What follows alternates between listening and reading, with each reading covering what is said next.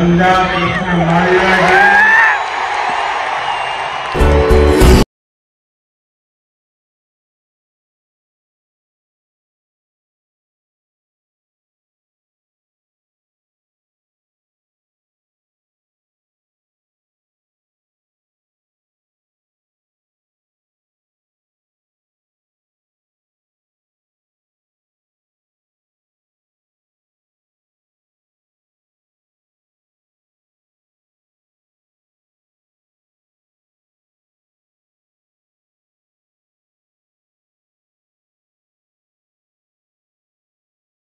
ఒక బీసీ బిడ్డ ప్రధానమంత్రి అయినప్పుడు బీసీల కంటే అట్టడుగున పడిపోయిన దళితుణ్ణి రాష్ట్రపతి చేసిన ఘనత మీకేమన్నది?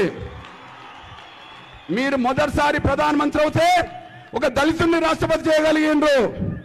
మీరు మొదటిసారి ప్రధానమంత్రి అయితే ఒక దళితుణ్ణి రాష్ట్రపతి చేయగలిగిండ్రు. మీరు రెండోసారి ప్రధానమంత్రి అవుతే అడవిలో ఉండబడే ఆదివాసీ నా అక్కను మురుము గారిని రాష్ట్రపతి చేయగలిగిండ్రు. ఇది కాంగ్రెస్కే కాదు ఈ దేశంలో ఎవరికి సాధ్యం కాదు. ఇది కాంగ్రెసే కాదు ఈ దేశంలో ఎవరికి సాధ్యం కాదు. మనందరికీ తెలుసు మీరు బీసీ కాబట్టినే ఒక దళితుని పైకి తీసుకురాగలిగిండ్రు. మీరు బలహీన వర్గాల ప్రముఖ నాయకుడు కాబట్టినే ఒక గిరిజన బిడ్డను తీసుకొచ్చి అక్కడ పెట్టారు. అదే ఉన్నత వర్గాలకు సంబంధించిన వాళ్ళు పరిపాలించిన కాంగ్రెస్ రోజుల్లో ఇన్ని పరిణామాలు జరగలేదనేసి కూడా మర్చిపోతాను సహనం కోరుతున్నాను నేను. అంతేకాదు ఇక్కడ మా పెద్దన్నగా మా ముందు ఇద్దరు కేంద్ర మంత్రులు ఉన్నారు. మా ముందు కేంద్ర మంత్రి ఉన్నారు. అన్నా పెద్దన్నా మీరు తెలంగాణ గడ్డ మీదకి వచ్చారు. ఈ తెలంగాణ గడ్డ మీద కేసీఆర్ ఆమర దీక్ష చేస్తుంటే నిమ్మరసం ఎచ్చి దీక్ష వరించిన వాళ్ళలో నేను ఒకరిని ఉన్నాను. కేసీఆర్ ఆమర దీక్ష చేస్తుంటే నిమ్మరసం దీక్ష ఉందో నేను ఒకరిని ఉన్నాను. అదే సమయంలో తెలంగాణ రాష్ట్రంలో అతిపెద్ద జనాభా గల మాదిగలు ఉన్నా కేసీఆర్ గవర్నమెంట్లో పద్దెనిమిది మంది మంత్రులు ఉంటే ఒక్క మాదిగ మంత్రులు లేడనే విషయాన్ని కూడా మీరు తీసుకొస్తున్నా నేను. అన్నా పద్దెనిమిది మంది మంత్రులు ఉంటే పద్దెనిమిది మంది మంత్రులుంటే ఒక్క మాదిగ మంత్రులు లేడు. పది మంది ఎమ్మెల్యేలు ఉన్నారు కానీ ఒక మాదిగ మంత్రులు లేడు.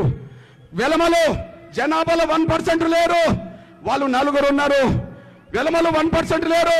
కేసీఆర్ కేసీఆర్ కొడుకు కేసీఆర్ అల్లుడు కేసీఆర్ కుటుంబంలో కుటుంబంలో ఇంకొక ఆయన ఉన్న నలుగురు ఉన్నారు. అదే సమయంలో రెడ్లు జనాభాకు సంబంధించిన కాడ ఏడుగురు మంత్రులు ఉన్నారు. ఒక వెలమకు నలుగురిని పెట్టుకున్నాడు ఏడుగురు రెడ్లను పెట్టుకున్నారు కానీ ఈ తెలంగాణ సమాజంలో అత్యంత వెనుకబడిపోయిన మాదిగలకు మాత్రం మంత్రివర్గం చోటే లేదు. కానీ అన్నా మీ ఔదార్యం ఎంత గొప్పదో మీ ప్రేమ ఎంత గొప్పదో దళితుల పట్ల దళితుల్లో ఉండబడే అట్టడుగు కులం పట్ల మీ ఔదార్యం ఎంత గొప్పదో సాక్ష్యంగా ఇక్కడ ఇద్దరు కేంద్ర మంత్రులను ఇక్కడ తీసుకురాగలిగాం. అన్నా ఈ తెలంగాణ గడ్డ మీద ఈ తెలంగాణ గడ్డ మీద ఒక మాదిగ మంత్రి లేడు. కానీ కర్ణాటక పోతే పెద్ద నరేంద్ర మోడీ గారి అండదండలతో నారాయణ స్వామన్న కేంద్ర మంత్రి కాగలిగిండు. ఈడ మనకు రాష్ట్ర మంత్రి లేడు. ఆడ కేంద్ర మంత్రి ఉన్నాడు. ఇంకొక విషయం గుర్తు చేస్తున్నా. ఇక్కడ తెలంగాణ గడ్డ మీద పది మంది ఎమ్మెల్యేలు ఒక్కసారి రెండోసారి మూడోసారి నాలుగోసారి గెలిచిన ఎమ్మెల్యేలు ఉన్నారు. కానీ కాలేదు కదా. నా మురుగన్ తమ్ముడు నా మురుగన్ తమ్ముడు తమిళనాడులో ఒక వెయ్యి ఓట్లతో ఓడిపోయింది ఎమ్మెల్యేగా. ఒక వెయ్యి ఓట్లతో ఓడిపోయిన తనని తీసుకొచ్చి పెద్ద నరేంద్ర మోడీ గారు ఏకంగా కేంద్ర మంత్రి చేసిండు. ఇక్కడ ఒక్కసారి రెండోసారి మూడోసారి నాలుగోసారి గెలిచిన మాది ఎమ్మెల్యేలు ఇక్కడ ఎవరు చేయలే? కేసీఆర్. కానీ అక్కడ బీజేపీలో ఒక వెయ్యి ఓట్లతో ఓడిపోయిన తమ్ముడిని తీసుకెళ్ళి కేంద్ర మంత్రి చేసి మధ్యప్రదేశ్ నుంచి రాజ్యసభ ఇచ్చి మాదిగ జాతిని గౌరవించుకున్నాడు అతను. మాదిగ జాతిని గుర్తించుకున్నాడు. ఇక్కడ అణిచేసిండు కేసీఆర్. ఆడ పైకి తీసుకొచ్చిండు పెద్ద మోడీ గారు. ఇక్కడ మనల్ని చేసిండు కేసీఆర్. ప్రశ్నిస్తే జైల్లో పెట్టిండు. మంత్రివర్గంలో చోటు లేకుండా చేసిండు. కానీ పెద్ద మాత్రం మనల్ని ఉన్న స్థాయికి తీసుకెళ్ళగలిగిండు. ఇది చాలదా?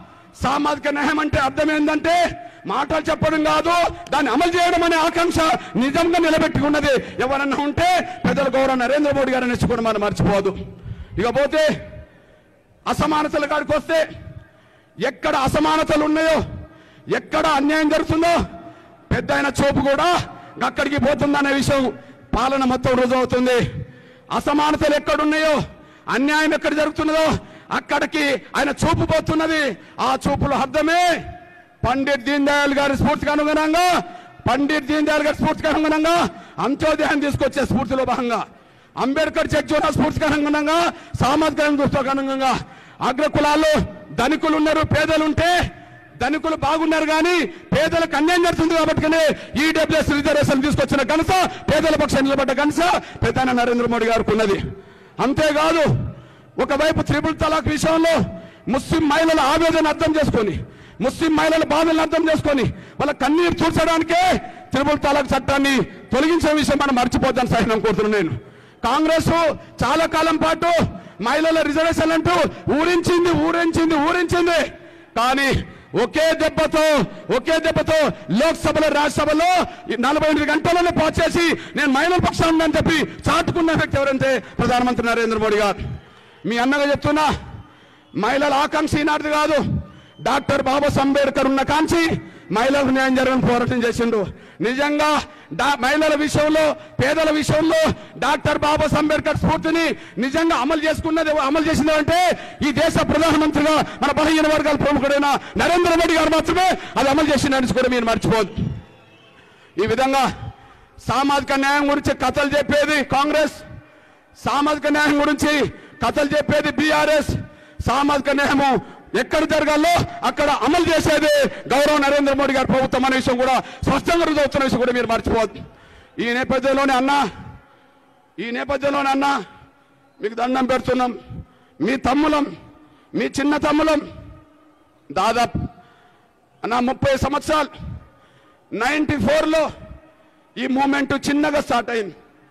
ఇవాళ టూ థౌజండ్ ట్వంటీ త్రీకి వచ్చాం. Twenty three by twenty four అవుతుంది.